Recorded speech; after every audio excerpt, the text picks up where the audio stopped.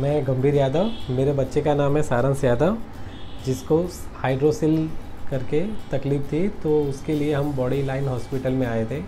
तो यहाँ पे उत्सव शाह सर को बताया।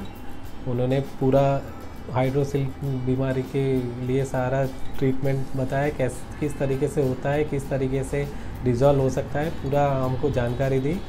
और उस हिसाब से उसके बाद मेरे बच्चे का सर्जरी करवाया यहाँ पे।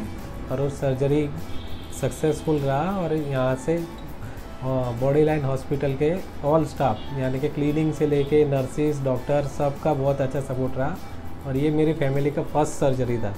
और ये डॉक्टर उत्सव शाह और बॉडी लाइन हॉस्पिटल की वजह से सक्सेसफुल रहा, जिसके लिए मैं बॉडी लाइन हॉस्पिटल डॉक्टर उत्सव शाह सबको थैंक यू बोलना चाहता हूँ।